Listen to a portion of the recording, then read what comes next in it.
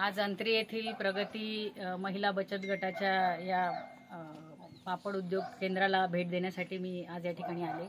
याच्या अध्यक्ष बचत गटाच्या रेखाताई सुरडकर आणि त्यांच्या सगळ्या सहकारी महिला या ठिकाणी आहेत. हे सगळं पाहिल्यानंतर मला अतिशय आनंद झाला आहे दिशा बुलढाणा जिल्हा महिला बचत गट फेडरेशनच्या माध्यमातून आम्ही महिला बचत गटांना त्या ठिकाणी सहाय्य करण्याचं काम करतो संघटित करण्याचं काम करतो आणि आज रेखाताईंना भेटून मला अतिशय आनंद वाटला. मागच्या चार ते पाच वर्षापासून त्यांनी हा जो काही बचत गट स्थापन केला आहे त्या बचत गटाच्या माध्यमातून विविध प्रकारचे पापड आणि इतर खाद्यपदार्थ बनवण्याचं काम त्या करतात. आणि विशेष कौतुकाची बाब म्हणजे त्यांचे हे सगळे खाद्यपदार्थ पुणे मुंबई आणि नागपूर नाशिक अशा सगळ्या महानगरांमध्ये हे खाद्यपदार्थ विक्रीसाठी पाठवले जातात.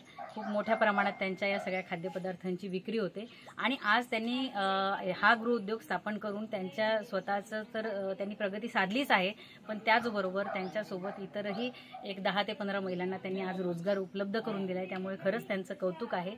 संत तुकडोजी महाराज म्हणतात की स्त्रियांच्या आंतरिक गुणांचा विकास महिलांच्या आंतरिक गुणांचा विकास करील आयसे शिक्षण खास. जरी दिले जाईल त्यास तरीच भावी जग पालटे आणि या राष्ट्रसंत तुकडोजी महाराजांच्या उक्तीनुसार रेखाताई आणि त्यांच्या सगळ्या सहकारी महिलांनी प्रशिक्षण घेऊन आज पापड उद्योगामध्ये खूप मोठी भरारी घेतलेली आहे. नाव त्यांचं एक वेगळं त्यांनी उमटवलेलं आहे. त्यांचं मनापासून कौतुक करते आणि त्यांना शुभेच्छा देते.